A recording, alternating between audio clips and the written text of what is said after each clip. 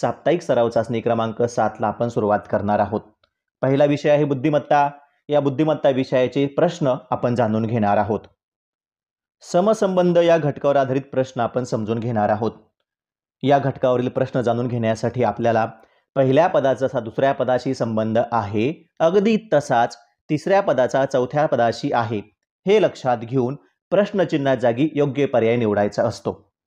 पहिला प्रश्न जसे बाराला सत्तावीस तसे तेवीसला काय? आणि पर्याय आहेत पाचशे बारा दोनशे छप्पन्न एकशे पंचवीस आणि एकशे अठ्ठावीस. अंकांचं बारकाई निरीक्षण करा. बारा दुने चोवीस आणि तीन सत्तावीस.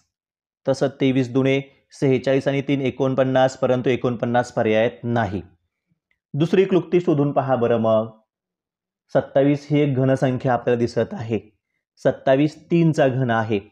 आणि बारा म्हणजेच एक अधिक दोन तीन. तीनचा घन सत्तावीस. याचाच अर्थ अंकांच्या बेरजेचा घन ही दुसरी संख्या आहे. म्हणजे एक अधिक दोन तीन तीनचा घन सत्तावीस. अगदी त्याचप्रमाणे तेवीस जर विचार केला तर दोन अधिक तीन पाच आणि पाचचा घन आहे एकशे पंचवीस. म्हणजेच पहिल्या प्रश्नाचं उत्तर आहे पर्याय क्रमांक तीन एकशे पंचवीस. दुसरा प्रश्न पहा. जसे ब्याऐंशीला सहा तसे पंच्याहत्तरला किती? आणि पर्याय आहेत चार दोन पाच आणि सहा. विद्यार्थी मित्रांनो बारकाई निरीक्षण करा. ब्याऐंशीला सहा आहेत तसे पंच्याहत्तरला आपल्याला शोधायचं आहे. ब्याऐंशी म्हणजेच अंक आहेत आठ आणि दोन.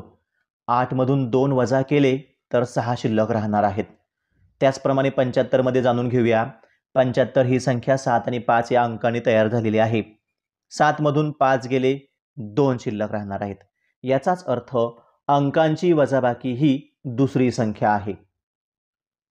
पुढचा प्रश्न आपण जाणून घेणार आहोत. जसे तेवीसला अठ्ठेचाळीस तसे पंचवीसला किती? आणि पर्याय आहेत चौतीस बावन्न अठरा आणि बत्तीस. संख्यांचं बारकाई निरीक्षण करा. कोणती क्लुप्ती आपल्या लक्षात येते हे जाणून घ्या. तेवीसला अठ्ठेचाळीस आहेत पंचवीसला किती असणार आहेत? तेवीस दुने सेहेचाळीस आणि दोन मिळवले तर अठ्ठेचाळीस होतात. तसे पंचवीस दुने पन्नास आणि दोन मिळवले की बावन्न होणार आहेत. म्हणजेच दिलेली संख्येची दुप्पट करून त्याच्यामध्ये दोन मिळवायचं म्हणजे पुढची संख्या मिळते. याचाच अर्थ तेवीस दुने सेहेचाळीस आणि दोन अठ्ठेचाळीस आणि पंचवीस दुने पन्नास आणि दोन बावन्न पर्याय क्रमांक दोन हे आपलं उत्तर असणार आहे. पुढचा प्रश्न जाणून घ्या. एकोणऐंशीला जसे त्र्याऐंशी तसे एकसष्टला किती? आणि पर्याय आहेत त्रेसष्ट चौसष्ट सदुसष्ट आणि एकोणसाठ. संख्यांचं बारकाई निरीक्षण करा. एकोणऐंशी त्र्याऐंशी आणि एकसष्ट. ह्या कोणत्या संख्या आहेत बरं? बारकाईने जर विचार केला तर आपल्या असं लक्षात आलेलं आहे की या संख्या क्रमवार मूळ संख्या आहेत. म्हणजेच एकोणऐंशीच्या पुढची मूळ संख्या आहे त्र्याऐंशी. तशी एकसष्टच्या पुढची कोणती आहे बरं? विचार करा. एकसष्टच्या पुढची मूळ संख्या आहे सदुसष्ट. म्हणजेच या उदाहरणामध्ये क्रमाने येणारे पुढची मूळ संख्या दिलेली आहे. आता पाचवा प्रश्न जाणून घेऊ. दोनशे छत्तीसला जसे छत्तीस तसे चारशे पस्तीसला काय? आणि पर्याय आहेत चौदा साठ अठ्ठेचाळीस आणि बारा. विद्यार्थी मित्रांनो अंकांचं बारकाई निरीक्षण करा. दोनशे छत्तीसला छत्तीस दिलेले आहे. आता जर आपण दोनशे छत्तीसमधील अंकांचा गुणाकार केला तर पाहू. बेत्रिक सहा आणि सहा गुणिले सहा छत्तीस बरोबर येत आहे. याचाच अर्थ पहिल्या संख्येतील अंकांचा गुणाकार ह्या दुसरी संख्या आहे. आता पुढची संख्या पहा. चारशे पस्तीसमधील अंक आहेत चार तीन आणि पाच. चार त्रिक बारा आणि बारा पंचे साठ. साठ हा पर्यायामध्ये आहे. याचाच अर्थ पर्याय क्रमांक दोन हे आपलं उत्तर आहे. आणि पहिल्या संख्येतील अंकाचा गुणाकार ही दुसरी संख्या दिलेली आहे. पुढचा प्रश्न पहा. पंचवीसला जसे सहाशे पंचवीस तसे पंधराला किती? आणि पर्याय आहेत दोनशे पंचवीस छत्तीस शंभर आणि पंचवीस. पाहता क्षणी आपल्याला कळलेलं आहे पंचवीसचा वर्ग सहाशे पंचवीस आहे. याचाच अर्थ पंधराचा वर्ग दोनशे पंचवीस आहे. आणि पर्याय क्रमांक एक हे आपलं उत्तर आहे. संख्यांचे वर्ग दिलेले आहेत. यानंतर आपण सातवा प्रश्न पाहणार आहोत. पुढचा प्रश्न आपण जाणून घेणार आहोत. अठ्ठावीसला जसे अडोतीस तसे एकोणपन्नासला काय? आणि पर्याय आहेत बासष्ट साठ सत्तावन्न चाळीस. विद्यार्थी मित्रांनो पहिल्या संख्येचा बारकाईने विचार करा. अठ्ठावीसला अडोतीस आहेत तसे एकोणपन्नासला किती असणार आहेत? अठ्ठावीस आणि दहा अडोतीस होतात. दहा म्हणजेच अठ्ठावीसच्या अंकांची बेरीज केली तर दहा होते. म्हणजे पहिली संख्या अधिक संख्येतील अंकांची बेरीज म्हणजे पुढील संख्या होते. पुन्हा पहा बरं. अठ्ठावीस अधिक अठ्ठावीसचे अंक दोन आणि आठ बेरीज दहा होते. अठ्ठावीस अधिक दहा अडोतीस. तसं एकोणपन्नास जर विचार केला तर एकोणपन्नासच्या अंकांची बेरीज होते नऊन चार तेरा. एकोणपन्नास अधिक तेरा उत्तर येते बासष्ट. याचाच अर्थ पर्याय क्रमांक एक हे आपलं उत्तर आहे. यानंतर पुढचा प्रश्न आपण जाणून घेऊया. जसे तीसला बेचाळीस तसं एकशे बत्तीसला किती? आणि पर्याय आहेत शंभर एकशे छप्पन्न एकशे वीस आणि सत्तर. संख्या जर आपण पाहिल्या तर आपल्या चटकन कळलं पाहिजे. या संख्या म्हणजेच वर्गसंख्येमध्ये तीच संख्या मिळून तयार झालेल्या संख्या आहेत. पहा तीस जर विचारात घेतला आपण तर पाचचा वर्ग पंचवीस अधिक पाच. बेचाळीस जर घेतलं तर सहाचा वर्ग छत्तीस अधिक सहा. एकशे बत्तीस जर विचारात आपण घेतलं तर अकराचा वर्ग एकशे एकवीस अधिक अकरा म्हणजे एकशे बत्तीस. याचाच अर्थ बाराचा वर्ग एकशे चव्वेचाळीस अधिक बारा हे आपलं उत्तर असणार आहे.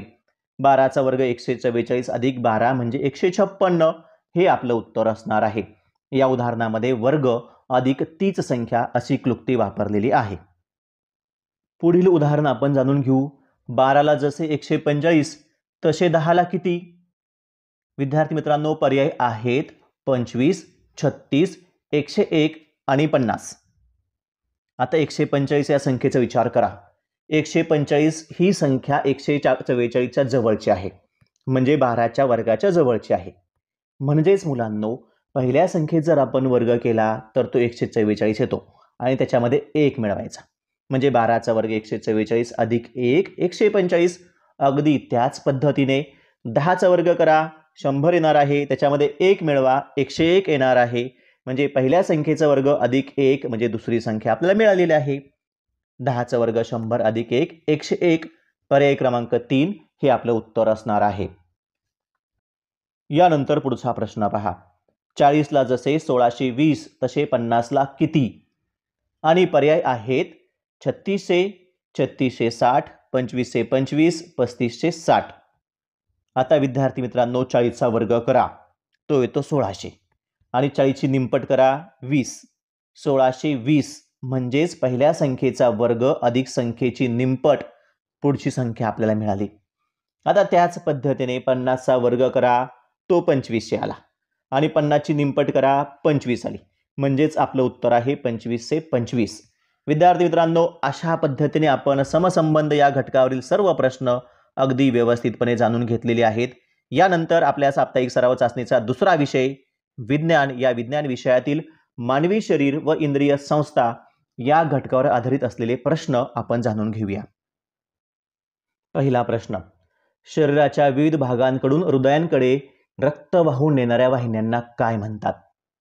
आणि पर्याय आहे निला केशवाहिन्या धमण्या का नलिका विद्यार्थी मित्रांनो शरीराच्या विविध भागांकडून हृदयाकडे रक्त वाहून नेणाऱ्या वाहिन्यांना निला किंवा शिरा की ज्याला वेन्स असं म्हणतात निला शिरा ज्या आहेत त्या शरीराच्या विविध भागांकडून हृदयाकडे रक्त वाहून नेणाऱ्या वाहिन्या असतात. फुफ्फुसा व्यतिरिक्त उरलेल्या सर्व निलांमधून विनाक्षतिजी म्हणजे कार्बन डायऑक्साईड युक्त रक्त वाहून नेले जाते. बहुतेक नेला या त्वचेलगत असतात. याची भित्तिका पातळ असते तसेच यांच्या पोकळीमध्ये झडपा असतात. आकृतीमध्ये आपल्याला धमण्या व निळ्या याची रचना दिलेली आहे. निळा निळा ज्या आहेत त्या हृदयाकडे रक्त वाहून नेणाऱ्या असतात. आकृतीचं निरीक्षण करा.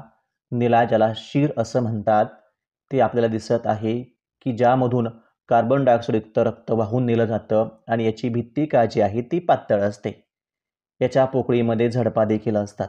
अशा प्रकारे ही निला याची रचना आपण पाहत आहोत.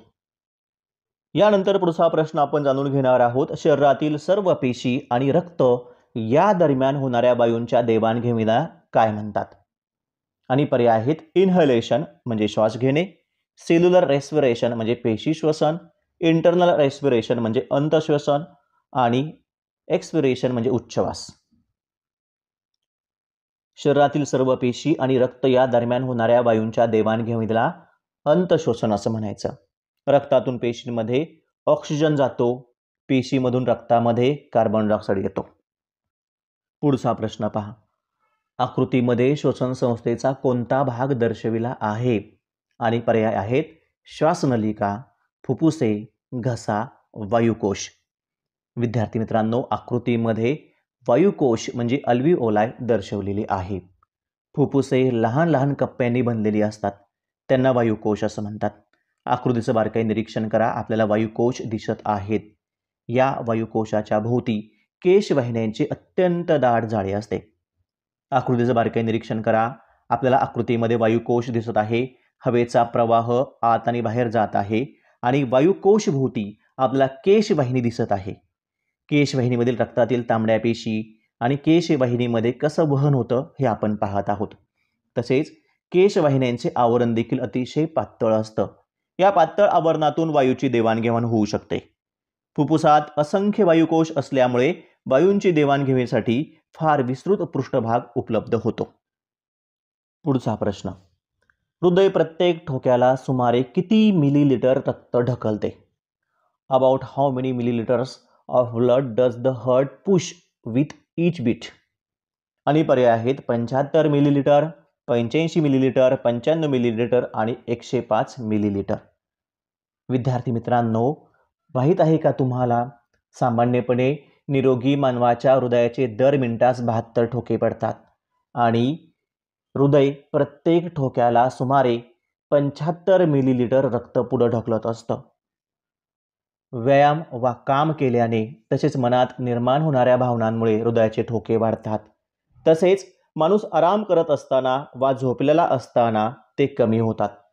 लहान बालकांच्या हृदयाच्या ठोक्यांची संख्या जास्त असते. हृदयाचे ठोके पडत असताना दोन प्रकारचे आवाज येतात. यातील एका आवाजाचं वर्णन लब्ब तर दुसऱ्या आवाजाचे वर्णन डब्ब असे करतात. हृदय प्रत्येक ठोक्याला सुमारे पंच्याहत्तर मिलीलिटर रक्त पुढं ढकलत असतं. यानंतर पुढचा प्रश्न. सोळाशे अठ्ठावीस साली कोणत्या ब्रिटिश डॉक्टरने शरीरातील रक्ताभिसरण कसे होते याचे वर्णन केले?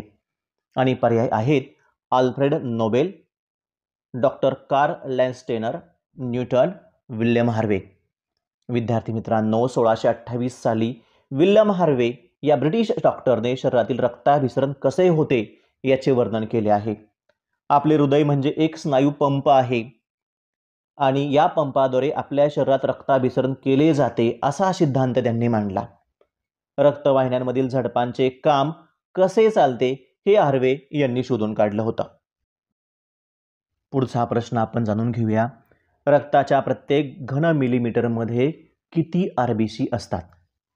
आणि पर्याय आपल्यासमोर आहेत. विद्यार्थी मित्रांनो रक्ताच्या प्रत्येक घन मिलीमीटरमध्ये पन्नास ते साठ लाख आर बी सी असतात. आर बी सी म्हणजेच लोहित रक्तपेशी. या लोहित रक्तपेशी ज्या आहेत त्या लहान वर्तुळाकार केंद्रक नसलेल्या पेशी असतात. या पेशीतील हिमोग्लोबिन या घटकामुळं रक्त लाल रंगाचं दिसतं. हिमोग्लोबिनमुळं ऑक्सिजन रक्तात विरघळतो. रक्ताच्या प्रत्येक घन मिलीमीटरमध्ये पन्नास ते साठ लाख आर बी सी असते. हे जे आर बी सी असतात याची निर्मिती अस्थिमज्जेत होत असते. ते सुमारे शंभर ते एकशे सत्तावीस दिवस जगत असतात. यानंतरचा प्रश्न आपण जाणून घेऊ. रक्त रक्त तयार करणारे अवयव आणि रक्ताचे रोग याचा अभ्यास करणारी वैद्यक विज्ञानाची शाखा कोणती आहे? आणि पर्याय आपल्यासमोर आहेत. यकृतशास्त्र हृदयरोगशास्त्र रक्तशास्त्र की रक्तसंचारशास्त्र. विद्यार्थी मित्रांनो रक्त रक्त तयार करणारे अवयव आणि रक्ताचे रोग यांचा अभ्यास करणारी वैद्यक विज्ञानाची शाखा म्हणजेच रक्तशास्त्र ज्याला हिमॅटोलॉजी असं म्हणतात. रक्ताच्या सर्व रोगांचे निदान करणे व त्यावर उपचार करणे याविषयीचे संशोधनही या शाखेत केले जाते. यानंतर पुढचा प्रश्न ए बी आणि ओ या रक्तगटांचा शोध कोणी लावला?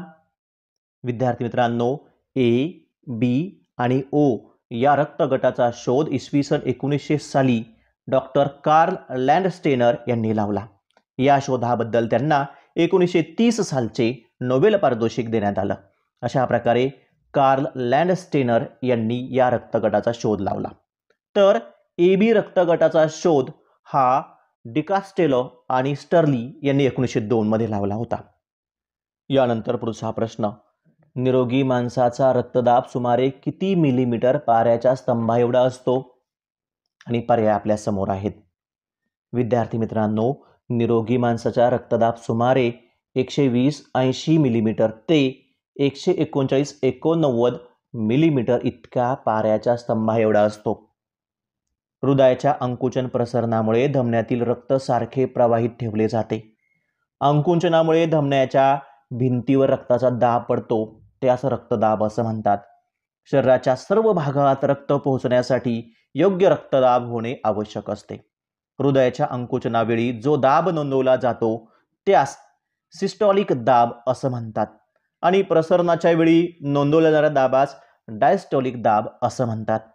निरोगी माणसाचा रक्तदाब सुमारे एकशे वीस ऐंशी मिलीमीटर ते एकशे एकोणचाळीस एकोणनव्वद मिलीमीटर मर्कुरीच्या स्तंभा एवढा असतो. आणि तो मोजण्यासाठी स्पिग्मो मॅनोमीटर नावाचे यंत्र वापरतात. विद्यार्थी मित्रांनो आकृतीचं बारके निरीक्षण करा. चित्रामध्ये आपल्याला रक्तदाब मापक यंत्र दिसत आहे. यानंतर आपण इतिहास विषयाचे प्रश्न जाणून घेणार आहोत. पहिला घटक आहे असहकार चळवळ. पहिला प्रश्न. इसवी सन एकोणीसशे वीस ते एकोणीसशे सत्तेचाळीस हा भारतीय स्वातंत्र्य लढ्याचा कालखंड कोणत्या नावाने ओळखला जातो? आणि पर्याय आहेत गांधीयुग मवाळ जहाल स्वराज. विद्यार्थी मित्रांनो एकोणीसशे वीस ते एकोणीसशे सत्तेचाळीस हा भारतीय स्वातंत्र्य चळवळीचा कालखंड गांधी युग या नावाने ओळखला जातो. एकोणीसशे वीसमध्ये लोकमान्य टिळकाच्या निधनानंतर राष्ट्रीय चळवळीची सूत्रे महात्मा गांधीजींकडे आली. गांधीजींनी सत्य अहिंसा आणि सत्याग्रह या सूत्राच्या आधारे भारतीय स्वातंत्र्य लढा नवीन दिशा दिली. यानंतरचा पुढचा प्रश्न. महात्मा गांधी अठराशे त्र्याण्णवमध्ये वकिलीच्या कामानिमित्त कोणत्या देशात गेले होते? आणि पर्याय आहेत ब्रिटन दक्षिण आफ्रिका ऑस्ट्रेलिया आणि इंडोनेशिया. महात्मा गांधी अठराशे त्र्याण्णवमध्ये वकिलीच्या कामानिमित्त दक्षिण आफ्रिकेत गेले होते. दक्षिण आफ्रिका ही इंग्लंडची एक वसाहत होती. तेथे उद्योग व्यापार व अन्य कामधंद्यासाठी अनेक भारतीय स्थायिक झाले होते. तेथील हिंदी लोकांना गुन्हेगारासारखे वागवले जाई. त्यांचा जागोजागी अपमान केला जात असे. एकोणीसशे सहामध्ये शासनाने एका आदेशानवे कृष्णवर्ण यांना ओळखपत्र बाळगणे सक्तीचं केले. त्यांच्या स्वातंत्र्यावर बंधने घातली. या अन्यायाविरुद्ध गांधीजींनी सत्याग्रहाच्या मार्गाने तेथील लोकांना न्याय मिळवून दिला. लाठीच्या प्रत्येक आघाताबरोबर ब्रिटिश साम्राज्याच्या शेवपेटीवर एक एक खिळा ठोकला जात आहे. हे विधान कोणाचे आहे? आणि पर्याय आहेत महात्मा गांधी लाला लजपतराय पंडित नेहरू रवींद्रनाथ टागोर. विद्यार्थी मित्रांनो लाला लजपतराय यांनी म्हटलं होतं की लाठीच्या प्रत्येक आघाताबरोबर ब्रिटिश साम्राज्याच्या शेवपेटीवर एक एक खिळा ठोकला जात आहे. यानंतरचा पुढचा प्रश्न.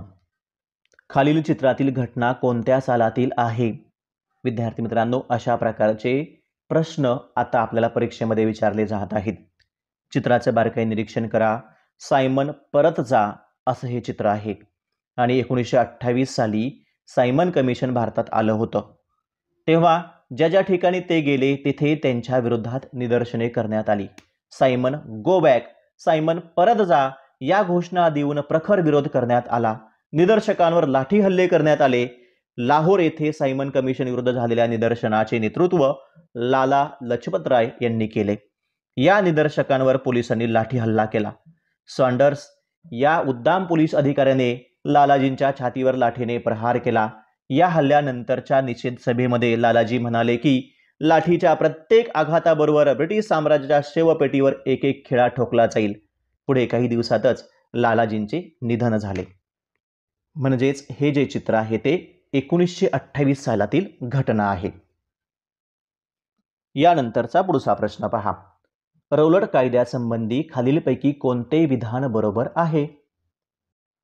आणि पर्याय आहेत कोणत्याही भारतीयाला विना चौकशी अटक करण्याचा अधिकार. न्यायालयात खटला न भरता तुरुंगात डाबण्याचा अधिकार सरकारला देण्यात आला. दिलेल्या शिक्षेविरुद्ध अपील करण्यास मनाई करण्यात आली. भारतीयांनी या कायद्याला पांढरा कायदा असं संबोधलं.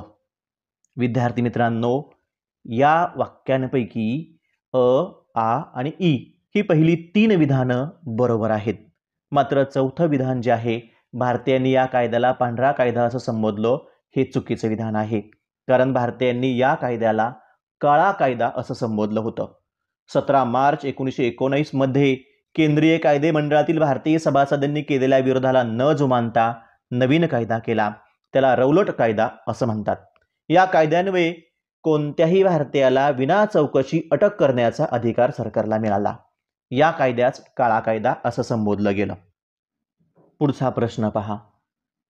भूगोल विषयाचा प्रश्न आपण जाणून घेणार आहोत. घटक आहे सागरतळ रचना. महासागराची सरासरी खोली सुमारे किती मीटर आहे? आणि पर्याय आहेत सतराशे सत्तावीसशे सदोतीसशे आणि सत्तेचाळीसशे. विद्यार्थी मित्रांनो आकृतीचं बारकाई निरीक्षण करा. महासागराची सरासरी खोली सुमारे सदोतीसशे मीटर आहे. जलमग्न जमिनीच्या रचनेला सागरतळ रचना म्हणून ओळखलं जातं. सागरतळ रचना समुद्र सपाटीपासून असलेल्या खोलीच्या आधारे व तेथील जमिनीच्या आकारानुसार विचारात घेतली जाते. महासागराची सरासरी खोली तीन हजार सातशे मीटर इतकी असते. यानंतर पुढचा प्रश्न पहा. महासागर तळ रचनेचा योग्य क्रम लावा. आणि पर्याय आहेत. पहिला आहे अ भूखंड मंच सागरी मैदान सागरी गर्ता आणि खंडांत उतार. दोन हजार एकवीसमध्ये अशा प्रकारचा प्रश्न विचारला होता. पर्याय आपल्यासमोर आहेत. आकृती पहा. म्हणजे आपल्याला कळेल महासागर तळ रचनेमधला योग्य क्रम कोणता आहे. एकदा आकृतीचं निरीक्षण करा बरं. सुरुवातीला आपल्याला भूखंड मंच दिसला. त्यानंतर खंडांत उतार आहे सागरी मैदान आहे सागरी बेटं आहेत. त्याचबरोबर मध्य सागरी परतरांगा सागरी डोह सागरी गर्ता असा हा क्रम आहे. म्हणजेच याचाच अर्थ सुरुवातीला भूखंड मंच आहे. अ. त्यानंतर आहे खंडांत उतार. ड. अ नंतर ड असा जो पर्याय आहे तो पर्याय क्रमांक चार आहे. त्यानंतर आहे खंडांत उतारानंतर सागरी मैदान. ब आणि शेवटी क सागरी गर्ता याचाच अर्थ पर्याय क्रमांक चार हे आपलं उत्तर योग्य आहे. दोन हजार वीसमध्ये वेगळ्या पद्धतीने आलेला प्रश्न आपण जाणून घेऊया.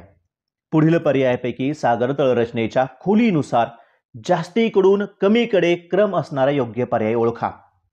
आणि पर्याय आपल्यासमोर आहे. विद्यार्थी मित्रांनो आपल्या सगळ्यांना माहीत आहे सर्वात जास्त खोल आहे सागरी गर्ता. सागरी करता असलेला पर्याय आहे पर्याय क्रमांक चार. आता पर्याय क्रमांक चारकडे आपण जरा लक्ष देऊ. सागरी गर्तानंतर कमी खोल असलेला सागरी मैदान आहे. सागरी मैदानापेक्षा कमी खोल खंडांत उतार आहे आणि खंडांत उतारापेक्षा कमी खोल भूखंड मंच आहे. याचाच अर्थ पर्याय क्रमांक चार हे आपलं योग्य उत्तर असणार आहे. पुढचा प्रश्न. पुढील आकृतीचं निरीक्षण करा. आणि मासेमारीसाठी विस्तृत क्षेत्र कोणत्या अक्षरांनी दर्शवले आहे? त्या अक्षराचा पर्याय ओळखा. पर्याय आहेत ए बी सी आणि डी आकृतीचं बारकाई निरीक्षण करा. आपल्याला ए या हे जे ठिकाण आहे ते किनाऱ्यालगत असलेला आणि समुद्रात बुडालेला जमिनीचा भाग दिसत आहे. आणि आपल्याला माहीत आहे की किनाऱ्यालगत असलेला व समुद्रात बुडलेला जमिनीचा भाग म्हणजेच भूखंड मंच होय. म्हणजे ए हे जे ठिकाण आहे ते भूखंड मंच हे आहे. आणि याच ठिकाणी मासेमारीसाठी विस्तृत क्षेत्र असतं. म्हणजेच ए अक्षराने दर्शवलेले जे क्षेत्र आहे ते मासेमारीसाठी विस्तृत क्षेत्र आहे. विद्यार्थी मित्रांनो भूखंड मंच हा सागरतळाचा सर्वात उथळ भाग असतो. यालाच समुद्रबुड असंही म्हणतात. भूखंड मंचाचा विस्तार सर्वत्र सारखा नसतो. काही खंडाच्या किनाऱ्याजवळ तो अरुंद असतो तर काही खंडाच्या किनाऱ्याजवळ तो शेकडो किलोमीटरपर्यंत रुंद असतो. याची खोली साधारणत समुद्रसपाटीपासून दोनशे मीटरपर्यंत असते. यानंतर समाजशास्त्र विषयातील शेवटचा प्रश्न की जो दोन हजार एकोणीसमध्ये विचारला होता हा आपण जाणून घेऊया. योग्य जोड्या लावून योग्य पर्याय ओळखा. सागरी मैदान भूखंड मंच खंडांत उतार सागरी संचयन आणि ब गटामध्ये आहे उथळ भाग सपाट भाग सखल भाग आणि तीव्र उतार. विद्यार्थी मित्रांनो बारकाई निरीक्षण करा. आपल्या आता असं लक्षात आलेलं आहे सागरी मैदान हा जो भाग आहे तो सपाट भाग असतो. म्हणजे एकचं उत्तर असणार आहे ब. आणि पर्याय क्रमांक एक आणि चारमध्ये ब आहे. दुसरा आहे भूखंड मंच. आत्ताच आपण जाणून घेतलेला आहे भूखंड मंच हा सागर तळाचा सर्वात उथळ भाग असतो. की ज्याला समुद्रबुड असं म्हणतात. म्हणजे भूखंड मंच अ उथळ भाग. आता या ठिकाणी जर आपण बारकाईने पाहिलं तर पर्याय क्रमांक एकमध्ये दोनला अ आहे. म्हणजे एक हे आपलं उत्तर असणार आहे. आता तिसरा पहा बरं खंडांत उतार. जो आहे तो तीव्र उतार असतो म्हणजे तीनचा ड. आणि चार नंबर जो आहे सागरी संचयन हे आहे सखल भागावर होत असतं. तर अशा प्रकारे पर्याय क्रमांक एक हे आपलं योग्य उत्तर आहे. साप्ताहिक सराव चाचणीतील शेवटचा विषय आहे गणित. आणि गणितावर आधारित असणारे प्रश्न आपण जाणून घेणार आहोत. पहिला प्रश्न चौकोनाची रचना करण्यासाठी कमीत कमी किती घटक असणे आवश्यक आहे? आणि पर्याय आहेत एक दोन तीन आणि पाच.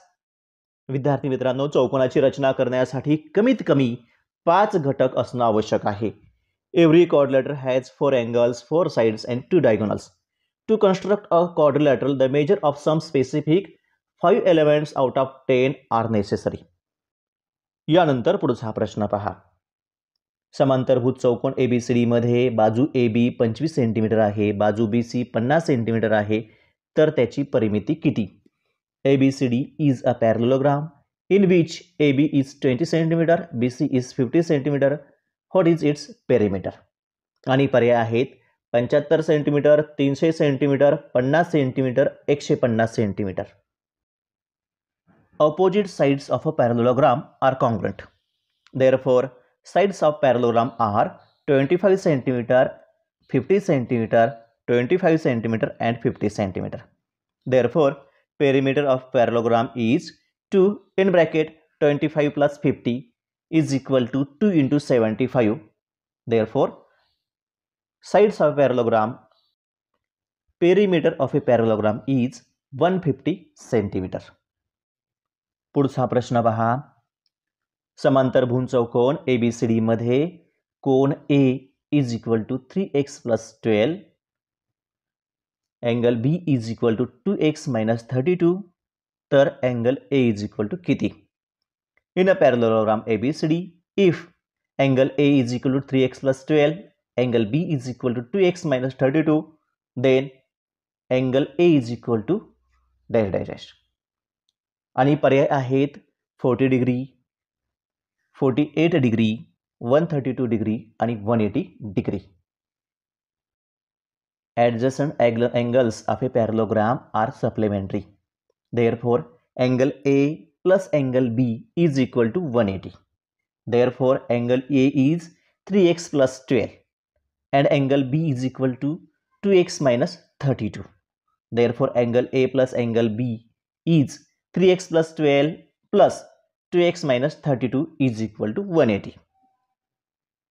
3x plus 2x plus twelve minus thirty two is equal to one eighty. Three X plus two X is five X. And plus twelve minus thirty two is minus twenty. म्हणजेच five X minus twenty is equal to one eighty. Five X is equal to two hundred आणि X is equal to forty. आता आपल्याला दिलेलं आहे angle A angle A is equal to three X plus twelve. एक्सची किंमत आपण काढलेली आहे forty. म्हणून angle A is equal to three X plus twelve म्हणजेच three into forty into twelve three into forty एकशे वीस. अधिक बारा एकशे बत्तीस. म्हणजे अँगल ए जे असणार आहे त्याचं उत्तर असणार आहे. पर्याय क्रमांक तीन एकशे बत्तीस. पुढचा प्रश्न पहा. What is the type of quadrilateral in which the diagonals are congruent and bisect each other at right angles चौकोनाचे कर्ण एकरूप असून ते परस्परांचे लंब दुभाजक आहेत तर तो चौकोनाचा कोणत्या प्रकार आहे? पर्याय आहेत स्क्वेअर रोम्बस रेक्टँगल आणि ट्रॅपेझियम. विद्यार्थी मित्रांनो उत्तर आहे चौरस. In square only diagonals are congruent and bisect each other at right angles पुढचा प्रश्न आपण पाहणार आहोत. चक्री चौकोनाच्या सम्मुख कोणाची मापे एक्स अधिक दहा अंश आणि एक अधिक वीस अंश आहेत तर त्या कोणांच्या मापातील फरक किती? विद्यार्थी मित्रांनो पर्याय आहेत तीस अंश वीस अंश दहा अंश आणि पाच अंश. विद्यार्थी मित्रांनो चक्रीय चौकोनाचे सम्मुख कोण पूरक असतात. म्हणजे एक्स अधिक दहा अधिक एक्स अधिक वीस बरोबर एकशे ऐंशी. जर आपण उदाहरण सोडवलं तर दोन एक्स अधिक तीस बरोबर एकशे ऐंशी. दोन एक्स बरोबर एकशे ऐंशी वजा तीस आणि दोन एक्स बरोबर एकशे पन्नास. एक्स बरोबर एकशे पन्नास भागिले दोन म्हणजेच एक्स बरोबर पंच्याहत्तर. आता पहिला कोण जर विचारात घेतला आपण एक्स अधिक वीस. एक्सची किंमत पंच्याहत्तर आहे म्हणजे पंच्याहत्तर अधिक वीस पंच्याण्णव. अंश तर दुसरा कोण एक्स अधिक दहा आहे. एक्स बरोबर पंच्याहत्तर आहे पंच्याहत्तर अधिक दहा म्हणजे पंच्याऐंशी. दोन्ही कोणांच्या मापातील फरक पंच्याण्णव अंश वजा पंच्याऐंशी अंश म्हणजे तो दहा अंशाचा फरक असणार आहे. आता पुढचा प्रश्न आपण पाहू. आयताच्या लगतच्या बाजू अनुक्रमे पाच एक्स अधिक दोन आणि दोन एक्स अधिक तीन असतील तर आयताची परिमिती किती? पर्याय आपल्यासमोर आहेत. आयताच्या परिमितीचं सूत्र आहे दोन गुणिले लांबी अधिक दोन गुणिले रुंदी. आता लांबी आहे पाच एक्स अधिक दोन आणि रुंदी आहे दोन एक्स अधिक तीन. म्हणजेच दोन गुणिले कंसात पाच एक्स अधिक दोन कंस पूर्ण अधिक दोन गुणिले कंसात दोन एक्स अधिक तीन. जर आपण हे उदाहरण सोडवलं तर दहा एक्स अधिक चार अधिक चार एक्स अधिक सहा. दहा एक्स अधिक चार एक्स म्हणजे चौदा एक्स आणि चार अधिक सहा म्हणजे दहा. याचाच अर्थ आपलं उत्तर आहे चौदा एक्स अधिक दहा ही आहे आयताची परिमिती. पुढचा प्रश्न आपण जाणून घेऊया. समभूत चौकोन पी क्यू आर कर्ण पी आर व कर्ण क्यू एस यांची लांबी अनुक्रमे सहा सेंटीमीटर व आठ सेंटीमीटर आहे. तर त्याची परिमिती किती? विद्यार्थी मित्रांनो पर्याय आपल्यासमोर आहेत. चौकोन आहे समभुज. चौकू समभुज चौकोनाचे गुणधर्म असे असतात. पहिला गुणधर्म आहे समभूत चौकोनाचे कर्ण परस्परांना दुभागतात. त्याचप्रमाणे समभू चौकोनाचे कर्ण परस्परांचे लंब दुभाजक असतात. याचाच अर्थ त्रिकोण पीओ एस हा काटकोन त्रिकोण होईल. आणि पायथागोरसच्या सिद्धांतानुसार कर्ण वर्ग बरोबर पाया वर्ग अधिक उंची वर्ग या ठिकाणी कर्ण आहे पी एस पाया आहे ओ एस आणि उंची आहे ओ पी म्हणजेच पी एस वर्ग बरोबर ओ एस वर्ग अधिक ओ पी वर्ग. आपल्याला पी एस वर्ग काढायचा आहे. पी एस वर्ग बरोबर चारचा वर्ग अधिक तीनचा वर्ग. चारचा वर्ग सोळा आहे तीनचा वर्ग नऊ नऊ आहे. सोळा आणि नऊ पंचवीस होणार आहेत. म्हणजेच पी एसचा वर्ग पंचवीस. म्हणजेच पी एस बरोबर पाच सेंटीमीटर त्रिकोण पी ओ एसचा कर्ण पी एस ही चौकोन पी क्यू आर एसची बाजू आहे. म्हणजेच समभू चौकोनाच्या सर्व भुजा समान असतात. समभूत चौकोन पी क्यू आर एसची परिमिती जर काढायची असेल तर चार गुणले बाजू. आणि बाजू पी एस आहे पाच सेंटीमीटर म्हणजे चार गुणले पाच वीस सेंटीमीटर विद्यार्थी मित्रांनो अशा प्रकारे साप्ताहिक सराव चाचणी क्रमांक सातची सर्व उत्तरे आपण अगदी व्यवस्थित समजून घेतलेली आहेत. तुम्हा सर्वांना पुढील एन एम एस परीक्षेसाठी खूप खूप शुभेच्छा. धन्यवाद.